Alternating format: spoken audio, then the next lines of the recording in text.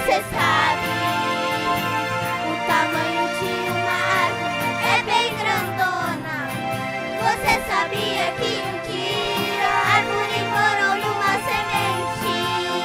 É. Você sabia que a semente parece muito com a gente?